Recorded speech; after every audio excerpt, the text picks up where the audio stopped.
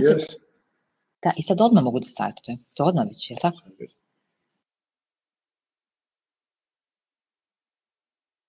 Tema današnjeg predavanja jesu hronične diabetesne komplikacije, gde spadaju mikroangiopatske komplikacije, diabetesna retinopatija, diabetesna nefropatija i diabetesna polineuropatija na malim krvnim sudovima i makroangiopatske komplikacije na velikim krvnim sudovima srca, kao što je koronarna bolest ili infarkt, mozga, gde može da nastane cerebrovaskularni insult šlog i poremećaj na perifernim krvnim sudovima donjih ekstremiteta, periferna vaskularna bolest, odnosno diabetesno stopalo. U etiopatogenezi diabetesne mikroangiopatije važno je naznačiti da promene mogu biti morfološke, patološko-anatomske, biohemijske i metaboličke. Morfološke promene vezane su za sitne krvne sudove, retine, glomerula, bubrega, nerava, stopala, ali i mišića, na primer miokarda. Treba istaći da vrlo često dolazi do bubrenja bazalnih membrane, a hiperglikemija povećanom glikozilacijom proteina dovodi do nakupljanja albumina, kolagena, imunoglobulina G, komplementa C3, do promena u krvnom u zidu kapilara, degeneracije ćelija, na primjer pericita, pojavu mikroaneurizmi što često viđamo u retinopatiji. Hemodinamske promene dešavaju se u mikrocirkulaciji i nastaje vrlo često hipertenzija. Šta je to glikozilacija proteina? Ona predstavlja vezivanje glikoze, zaminokiseline, lizin i valin i sastava proteina kolagena koji se nalazi u intersticijskom sloju zida kapilara. U uslovima kada imamo hiperglikemiju, povećava se reakcija takođe i poliolskog metaboličkog puta za uklanjanje glikoze. Tada se javlja često bubrenje bazalne membrane, povećanje njene propustivosti, hemodinamske promene. Glikoza ulazi u ćelije švanove opne i nereva, takođe i sočiva oka i povećanje sorbitola i fruktoze vodi povećanju osmotskog pritiska u ćeliji, prelazak tečnosti u ćeliju, bubrenje i oštećenje ćelije. Koji su to hemodinamski poremeći? Pa pre svega hipertenzija, koja izaziva povećano bubrenje bazalne membrane usled stvaranja većih količina kolagena, veće propustivosti zida kapilara i ulaska drugih substanci kao što je fibrin, lipidi, glikozilovani proteini, imuni kompleksi. Povećava se volumen krvi, njena viskoznost, usporava cirkulacija, dolazi do hipoksemije, hipoksije zidova arteriola i kapilara. Povećanje, povećanje intravaskularnog krvnog pritiska dovodi do povećane filtracije navedenih e, substanciji u endotelne i mezengialne ćelije zida i bubrenje bazalne membrane. Patološko-anatomske promene vezane za diabetesnu retinopatiju, one podrazumevaju mikroaneurizme retinalnih kapilara, povećanje propustljivosti kapilara, suženje lumena, proliferaciju novih krvnih sudova koja je praćena proliferacijom fibroznog tkiva u retini, Takođe, može da dođe do kontrakcije fibroznih promena i gubitka vidnih elemenata retine, što sve vodi u slepilo. Koji su klinički oblici retinopatije? Pa pre svega početna retinopatija koju karakterišu mikroneurizme, hemoragija, eksudacija, naročito u oblasti makule, nastaje makularni edem, to jest makulopatija. Teži oblik jeste proliferativna retinopatija koja predstavlja odmakli stadijum koji se nastavlja na početni oblik i karakterišu ga teške difuzne patološko-anatomske promene, formiranje novih krvnih sudova, proliferacija ćelija fibroznog tkiva i glije. Usled hipoksije retine često se javljaju teške hemoragije i ablacija retine. Šta imamo u kliničkoj slici? Pa pre svega smanjenje oštrine vida, ovaj poremeć je ova, ova komplikacija je češća kod muškaraca u pubertetu, promene se pogoršavaju tokom trudnoće i u slučaju hipertenzije i često pored retinopatije prisutna je i nefropatija i koronarna bolest. Lečimo retinopatiju laserskom fotokoagulacijom, ako se primeni na vreme, ona može zaustaviti retinopatiju. Takođe, veoma je, veoma je važna normalizacija gluko, glikoregulacije koja se postiže intenziviranom insulinskom terapijom ili insulinskom pumpom. Od nefarmakoloških mera treba naglasiti ograničenje unosa soli, smanjenje telesne težine, fizička aktivnost umerenog stepena. A farmakološke mere podrazumevaju lečenje hipertenzije, pre svega AC inhibitorima, antagonistima kalcijuma i selektivnim beta blokatorima. Kada govorimo o drugoj komplikaciji vezanoj za bubrezge, mikroangiopatskoj, dakle diabetesnoj nefropatiji, možemo reći da se ona javlja u oba oblika i u tipu 1 i u tipu 2, ali da je češća u tipu 1 diabetesa i ona predstavlja uz koronarnu bolest glavni uzrok smrti tipa 1 diabetesa. Postoji difuzni i nodularni oblik bolesti, a u etiopatogenezi glavne promene koje daju simptome i znake su povećanje brzine glomerulske filtracije, uvećanje bubrega i mikroalbuminurija koja iznosi od 30 do 300 mg na 24 časa. Mikroalbuminurija nastaje usled povećane propustljivosti bazalne membrane usled smanjenja proteoglikana jednog heparin sulfata i sastava bazalne membrane. Ovaj početni period traje 5 do 10 godina i nije praćen izraženim kliničkim znacima, zato se i naziva nemi period. Promene u ovom periodu mogu biti reverzibilne ako se primeni intenzivirana insulinska terapija. U sledećem periodu, posle 10 do 25 godina, javlja se stalna proteinurija, takozvana makroproteinurija, koja iznosi preko 500 mg na 24 časa. Tada promene više nisu reverzibilne, smanjuje se GFR progresivno, smanjuje se klirens kreatinina, dolazi do bubrežne insuficijencije i na kraju azotemije, a hipertenzija naročito diastolno doprinosi daljem razvoju nefropatije. U završnom periodu, pored azotemije, javlja se zadržavanje tečnosti, hipervolemija, edemi, hipoproteinemija i hipoalbuminemija, nefrotski sindrom. Prisutni su i elektrolitni poremećaj, hiperkalemija, hiperhloremijska metabolička acidoza zbog hiporeninemijskog hipoaldosteronizma. Česta je i pojava hiperlipoproteinemije koja vodi u ubrzanu aterosklerozu. Dijagnoza se postavlja određivanje mikroalbuminurije ili makroproteinurije, određuje se vrednost GFR, veličina bubrega ultrazvukom i klirens kreatinina iz 24-časovnog urina. Kako da lečimo? Pre svega hipoproteinskom dijetom 0,5 do 0,7 grama po kilogramu telesne težine, intenziviranom insulinskom terapijom ili insulinskom pumpom, antihipertenzivnom terapijom, ACI inhibitorima ili antagonistima kalcijuma, a ako postoji nefrotski sindrom, daje se substitucija albumina uz primjenu većih doza diuretika, najbolje furosemid, odnosno Lasix. I treća mikroangiopatska komplikacija jeste diabetesna polineuropatija koja se javlja kod, u 50% kod svih diabetičara u narednih 25 godina, neki od oblika neuropatije se javlja, a 7,5% ima novo otkrivenih pacijenata već ima polineuropatiju. 50% je uzrok svih netraumatskih amputacija i subtilni neurološki poremeći prisutni su i pre manifestnog diabetesa, takozvani subklinički oblik neuropatije koju smo mi često otkrivali kada se radi o, o, kada smo ispitivali osobe sa prediabetesom, znači sa povišenom glikemijom našte i intolerancijom na glukozu. U tom već ob, stepenu znači nismo nalazili prisutnu polineuropatiju. Ona se deli na autonomnu neuropatiju koja može biti kardiovaskularna, gastrointestinalna i genitourinarna, difuznu neuropatiju koja podrazumeva proksimalnu motornu neuropatiju i distalnu simetričnu polineuropatiju i fokalnu neuropatiju, odnosno mononeuropatiju, koja može biti kranijalna neuropatija ili radikulopatija. U, et, u etiopatogenezi diabetesne polineuropatije važno je naglasiti da su, da su bitni metabolički poremećaj, metabolička disregulacija, vaskularne promene, autoimuna i neuro, neurotrofična komponenta.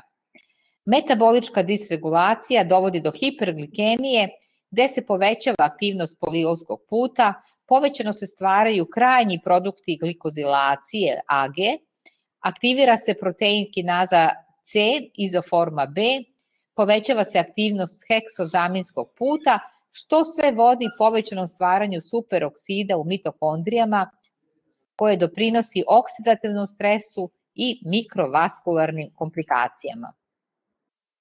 Vaskularne promene podrazumevaju endotelnu disfunkciju, endoneuralnu vaskularnu rezistenciju, smanjen krvni protok, hipoksiju i oksidativni stres, smanjenu aktivnost natrium, kalijum, ATP pumpe, atrofiju akson, aksona i smanjenu nervnu provodljivost. Može da bude dakle i autoimuna, gde nalazimo antitela, antineuronska i antifosfolipidna, takođe povećana vaskularna tromboza, a mogu da se jave i neurotrofi, neurotrofički oblici. Šta indukuje hiperglikemija? Hiperglikemija indukuje pre svega oksidativni stres, prekomernu aktivnost poliolskog puta, povećano stvaranje krajnjih produkata glikozilacije, povećanje heksozaminskog puta, hipoksiju, odnosno ishemiju nerava, povećanu aktivnost protein kinaze C, B izoforme, deficit gamma-linoleinske kiseline i deficit faktora rasta. U kliničkoj slici izraženi su bolovi parestezije, hiperestezije do anestezije, mišićna slabost i gubitak osetljivosti za bol i toplotu. Dijagnozu postavljamo klasičnim neurološkim pregledom gde može da se nađe smanjenje vibracijnog sensibiliteta, smanjenje ahilovog refleksa, takođe ispitivanje osjećaja bola i temperature se radi, elektromiografija i screening test sa monofilamentima. Terapijski najefikasnija terapija je optimalna glikemijska kontrola. Znamo da neuropatija i iskemija se pogoršavaju lošom glikoregulacijom, tako da zdrava ishrana i redovna fizička aktivnost i prestanak pušenja su veoma značajni. Na ovom slajdu vidimo da smanjenje za 1% glikozilovanog hemoglobina HbA1c dovodi do smanjenja mikrovaskularnih komplikacija čak do 37% dok se periferna vaskularna bolest smanjuje za 43%, akutni infarkt miokarda za 14% i smrt zbog diabetesa čak za 21%.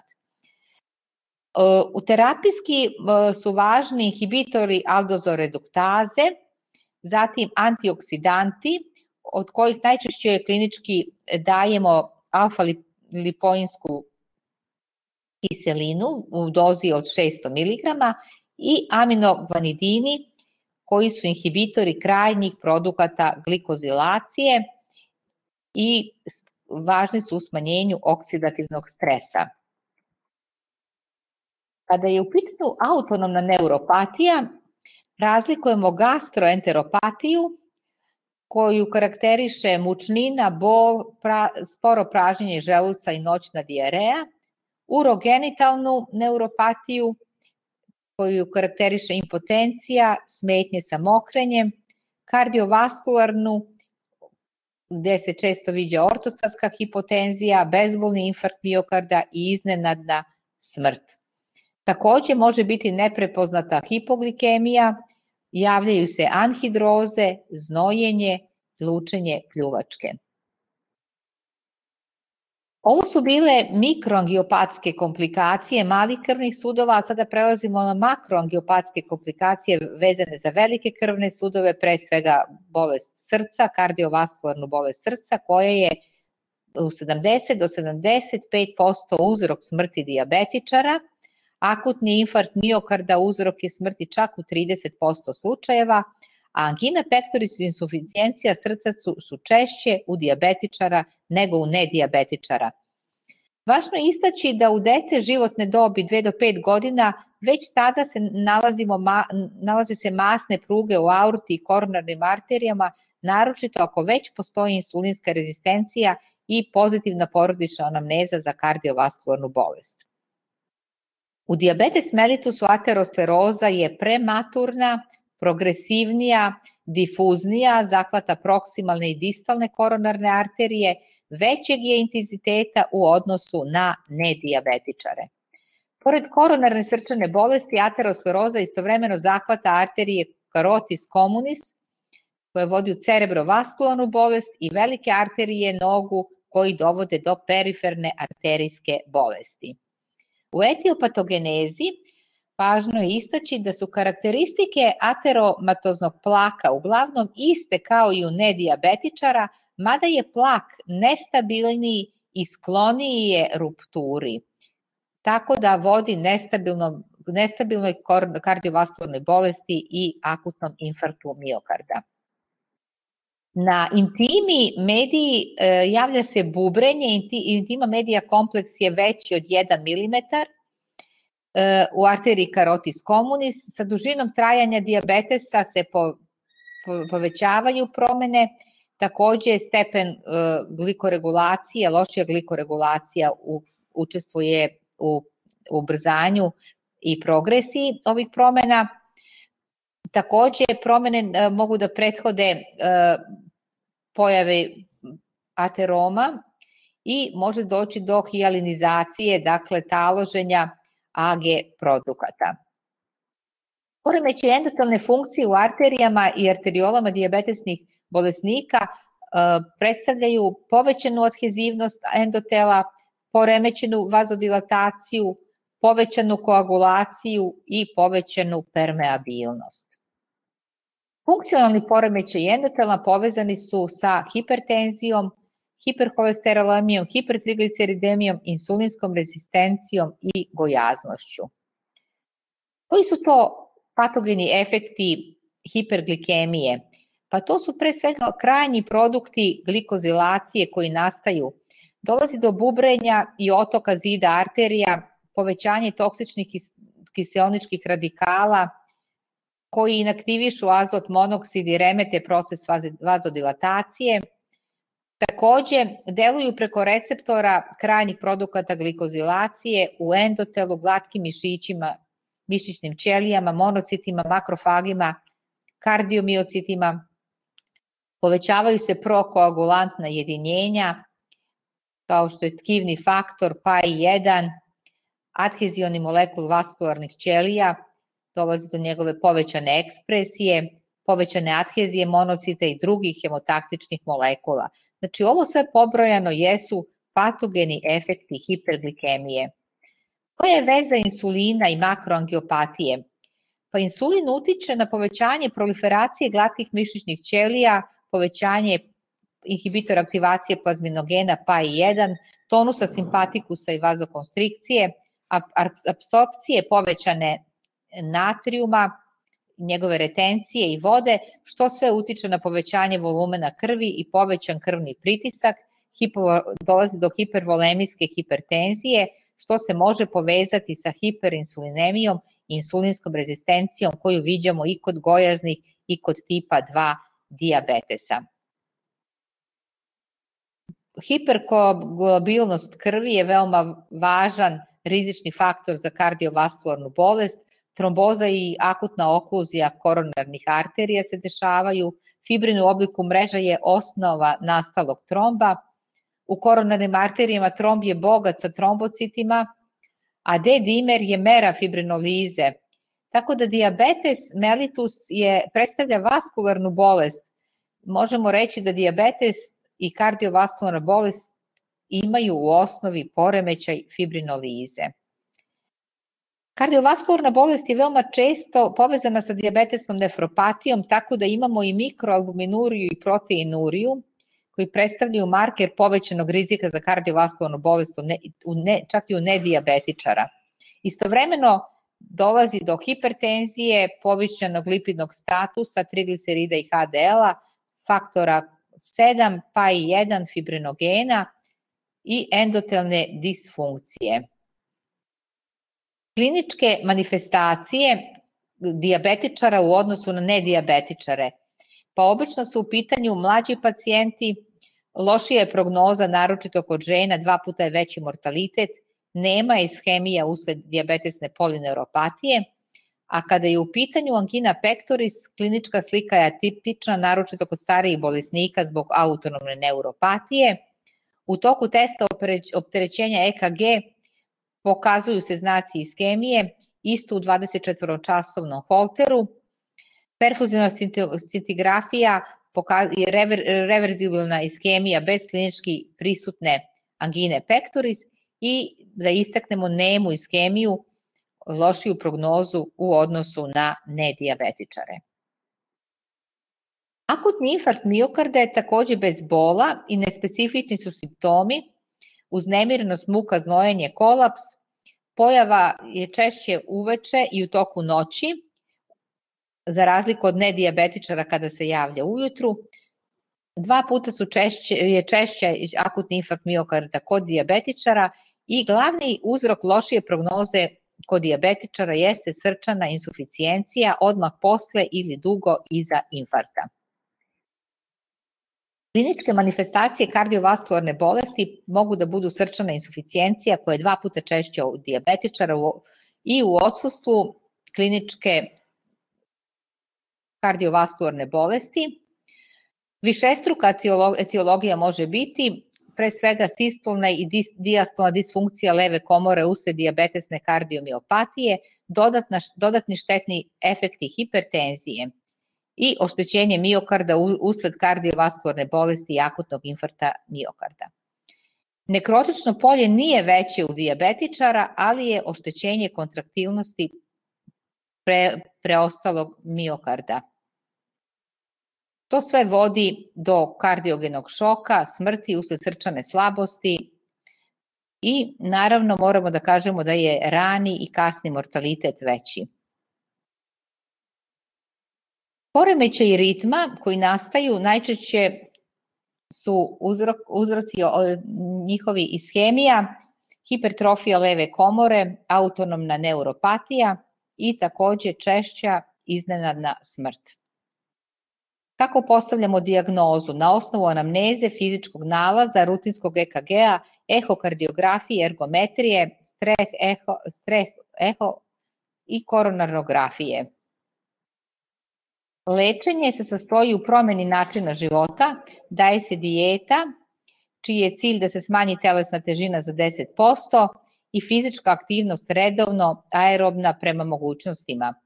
Prekid pušenja, mada 25% obolelih nastavlja i dalje pušenje posle kardiovaskularne bolesti.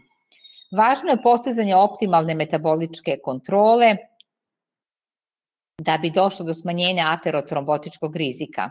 Metformin smanjuje rizik za akutni infarkt miokarda, treba lečiti hiperlipidemije ako je u pitanju dominantno kolesterol statinima ili trigliceridi, fibratima ili ako je kombinovana i fibratima i statinima. Lečenje hipertenzije, prva linija jesu ACE inhibitori, plus male doze hidroklortijazida imaju povoljan efekat na insuficijenciju srca i ramipril koji smanjuje rizik od akutnog infarkta miokarda, zatim daju se inhibitori kalcijumovih kanala ili kombinacija lekova. Sada bi se osvrnuli na diabetesno stopalo, takođe makroangiopatsku komplikaciju perifernih krvnih sudova. Važno je reći da anamneza je bitna prethodnih ulceracija i amputacija, periferna prisutna neuropatija, periferna vaskularna bolest, sve to može doprineti znači, riziku, a pored toga važno je istaći da su to i traume, povrede ili određeni deformiteti stopala. Rizični faktori za ulceracije stopala mogu biti stvaranje žuljeva, neuroosteoartropatija, ograničena pokretljivost zglobova, dugo trajanje diabetesa ili loša kontrola diabetesa. Ulceracije se češće javljaju kod muškaraca, kod siromašnih koji teško, do, teško dolaze do zdravstvenih ustanova, koji imaju slabu saradnju, znači i ne slušaju savete, izbegavaju preporučene procedure, Edem može da dovede do smanjenog dotoka krvi u uslovima već postojeće ischemije, a inhibicija znojenja anhidrozla usled periferne neuropatije dovodi do sušenja kože i fisura. Suva koža je ograni, dovodi do ograničene pokretljivosti zglobova i povećanog pritiska na plantarni deo stopala, što može da dovede do stvaranja žuljeva. U nastanku ulceracije stopala zajedničko je delovanje periferne neuropatije i periferne makroangiopatije, odnosno ishemije. traume koje smo pomenuli usred recimo nepodesne obuće, gubitak osjećaja za dodir, bol i temperaturu dovode do malih trauma koje prolaze neopaženo. Pacijent nastavlja aktivnosti, oštećenje se da, kasnije ispoljava, može da se javi pridružena infekcija i da se početna ulceracija širi. Kako možemo da klasifikujemo ove ulceracije? Pa prema stepenu. Nulti stepen je pre i post ulkusna lezija kompletno epitelizowana. Stepen, prvi stepen je površni potpuno ispunjen ulkus ograničen na kožu, ne širi se u subkutis. Drugi stepen ulceracija kože prolazi kroz subkutis sa vidljivim tetivama i kostima, ali bez osteomielitisa ili abscesa. Treći stepen duboke ulceracije sa osteomielitisom i abscesom. Četvrti je lokalizovana gangrena prstiju ili prednjeg dela stopala i peti stopalo sa proširenom gangrenom. Postoje dva oblika neuropatska ulceracija koja je prisutna zbog neuropatije, znači čak 85 do 90% diabetičara i anamnestički se ističe osjećaj žarenja, uboda, oštri bolovi, grčevi, naročito noću. Klinička slika pokazuje ulkus koji je često prvi znak neuropatije, naročito bolesnika koji osjećaju bol, ali su izgubili osjećaj dodira – Ulkus se razvija na mestima visokog pritiska na tabanima, promena je bezbolna čak i ako postoji infekcija, na ivicama ulkusa se formira kalus, u sredini ulkusa boja je crvena, javlja se zdravo granulacijono tkivo. Stopala normalne temperature ili čak toplo i pulsevi perifernih arterija su prisutni. Indeks pritiska skočni zglob bronhijalni je normalan veći od 1,3. Za razliku od neuropatske, ishemijska ulceracija je glavni uzrok u 38 do 52% slučajeva ulceracija stopala. U anamnezi imamo klaudikacione bolove, dakle intermitentne klaudikacije gde pacijent osjeća bol u listu prilikom hoda i u zavisnosti na koliko se javlja taj bol možemo odrediti takozvanu klaudikacionu distancu. Klinička slika Javlja se na ivicama ili dorzomu stopala i prstiju ili između prstiju, ulkusi su bolni, crvenilo na, na ivicama ulkusa, u bazi se nalaze crne ili žute nekrotične mase i nema nalaza periferne neuropatije. I postoji treći oblik koji je neuroishemijsko stopalo, znači predstavlja mešavinu dejstva dva etiološka faktora i neuropatije i ishemije i ima kombinovanu kliničku sliku. Dakle, sve ovo navedeno vidimo da su brojne i mikro i makroangiopatske komplikacije diabetečara koje imaju veoma tešku kliničku sliku i često dovode i do invaliditeta, nekad i do smrti. Ono što je veoma važno u prevenciji svih ovih hroničnih komplikacija jeste pre svega zadovoljavajuća glikoregulacija, prvo pravilnom dobrom izbalansiranom ishranom uz umerenu fizičku aktivnost i smanjenje naravno i stresa koje je veoma važno i koje može da dovede do pogoršanja glikoregulacije.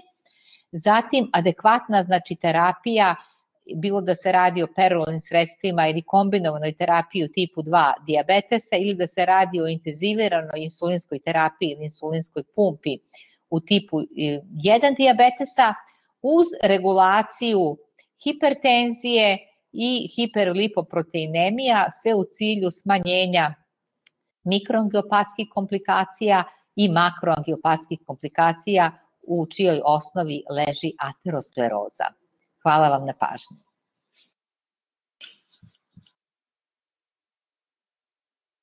Ispričao sam se